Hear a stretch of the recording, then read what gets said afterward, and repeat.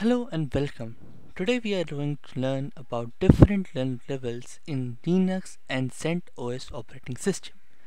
So firstly understand what is a run level by its definition. So we can say that a run level is a preset single digit integer that defines the operating system state of Linux and Unix like operating system handled by init command. So the init command is one of the most important processes you can say whether it's PID 1 it is called the father of all processes as is used for initialization of the processes. Then each run level allows for different combination of running processes and vary depending on the operating system being used. So run level while switching between run levels you can see that some of the processes get activated and some get deactivated. Some network system get enabled, some get disabled, disabled by using the operating run levels in the operating system. So learning about the different run levels, so there are basically seven run levels in Linux as follows. Run level 0 is called the halt and it shuts down the system. Run level 1 is the single user mode and it is used to perform the administrative tasks. Run level 2 is the multi-user mode with network enabled but most of the network services are disabled that uh, it does not configure the network interface and does not export the network services. Run level 3 is the multi-user mode with everything configured but the graphics is disabled in this mode. Then run level 4 is not used and it is user definable. Run level 5 is multi-user mode with graphics. You can see that run level 5 is similar to as run level 3 but only the difference is that the graphics is enabled in run level 5 rather than in 3 it is disabled. Then run level 6 is the reboot. It is used to reboot the system. Now moving to the terminal, let's see the different run levels, how to identify them. So, how to identify the run level in which the system is running currently. It can be used by the command run level. Okay. Okay, the system is in run level 5. It is operating in run level 5, which is the multi-user mode with all graphics and with all graphics enabled in it. Okay.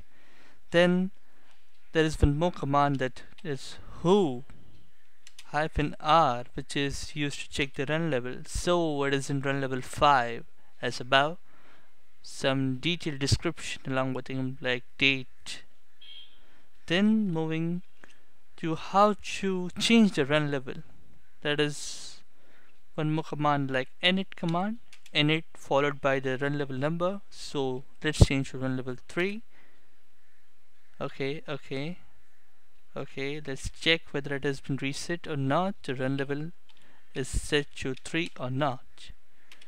Okay so run level has been set has been changed from 5 to 3 so over here you can see that the run level which has been changed is temporary is done on the temporary basis. Once the system gets rebooted the run level again gets set to default.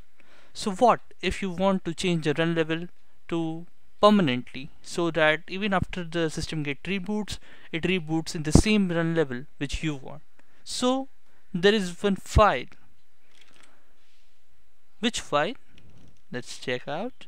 It is etc in the folder slash etc dot nh tab. This is the file. Let's move to the folder. We have an etc. Let's list the file if it is present or not. The inittab init chap file is present or not. Let's see for it. Or we can look like this.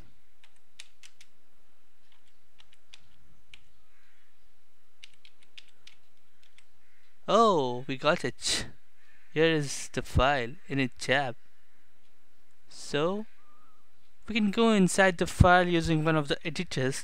Let's use the vi editor using the absolute path that is the init etc which is present.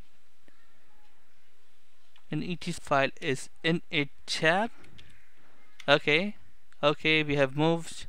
So we have to press enter to continue. Let's press enter and as we have to change something so in VI editor to make some changes or to insert the data we have to press the I button. So you can see over here in the bottom it is written the insert.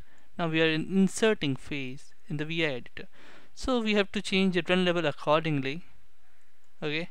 Here we, the ID we can set the run level to you the that we want to change such as if we want to change to run level 3 then we can put id hyphen 3 initdefault. Now I want to be it present in level 5 so I will keep as it is. Now once done we have to press escape. Oh ho we have to press Q and followed by exclamation and we are done.